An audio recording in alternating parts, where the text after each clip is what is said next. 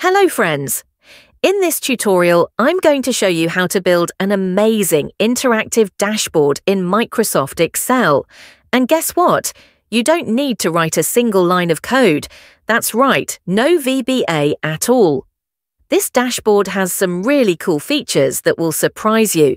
You can filter your data easily using slicers. You can see detailed reports for each state, product category, and delivery status, all in one place. We are going to create this dashboard step by step. So let's get started. We have a table that contains sales information. It includes columns for product category, subcategory, country, quantity, and sale amount. Before designing the dashboard, we first need to create pivot tables. We will make four pivot tables, and each will go on a separate sheet. Let's add four new sheets and rename them as Sales to track the sale amount by category percentage, to show sales as percentage country for the map chart delivery, to monitor delivery status, convert data to Excel table. Before creating pivot tables, we must convert our sales list into an Excel table. Here's how. Select your data press control plus T click OK. This will help Excel automatically update pivot tables if we add new data in the future.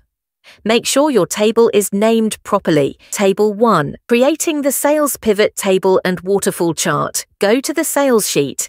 Click on Insert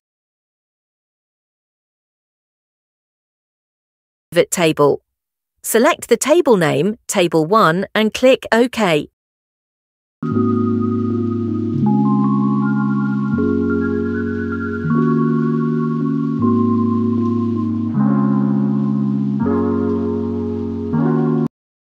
Now, drag category to the rows section, drag sale amount to the values section.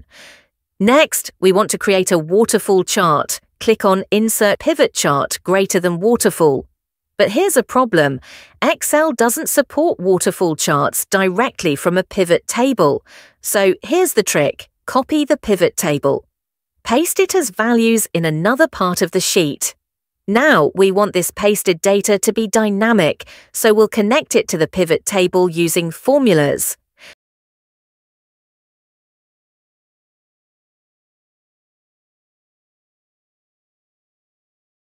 Type equals and link each value cell to the pivot table cell.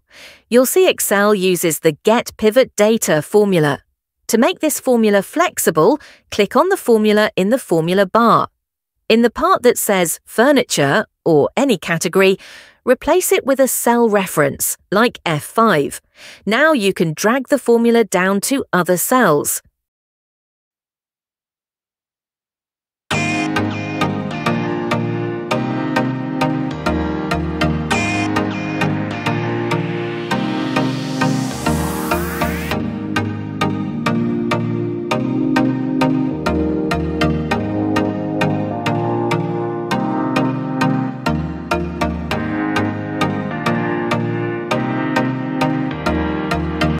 When you filter with slicers, some cells may show a number sign ref exclamation mark error. To avoid that, use the IFERROR function. Here's how.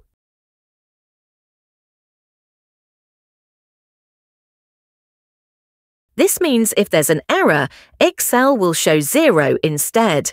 Now you can safely drag the formula without errors.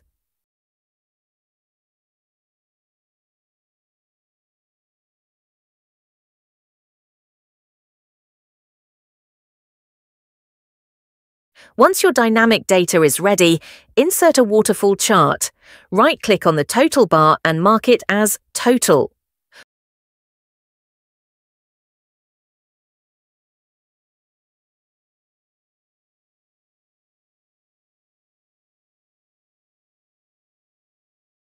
Format your chart and numbers.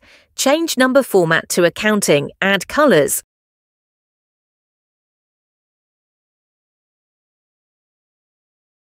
Now go to the percentage sheet.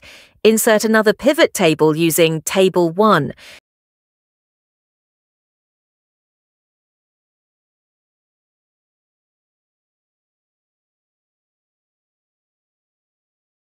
In the pivot table, drag category to rows, drag sale, amount to values, right click on the values and choose Show Values.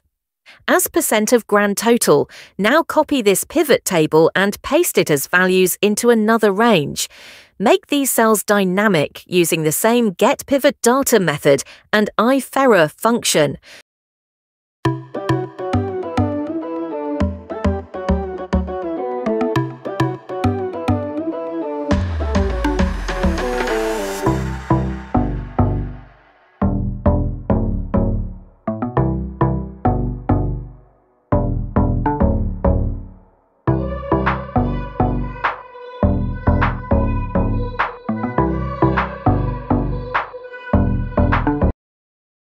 We also want to calculate the maximum value from this range to use in our pie chart. Use the equals max open parenthesis range close parenthesis function.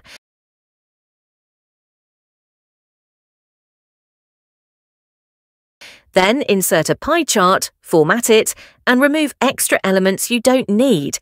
Now your dashboard is starting to take shape. And that's it for today's part. In the next video, we'll continue building the rest of the dashboard step by step. If you think this video was helpful, don't forget to like the video, subscribe to the channel, and click the notification bell so you don't miss any of our upcoming tutorials. Thanks for watching and see you in the next video.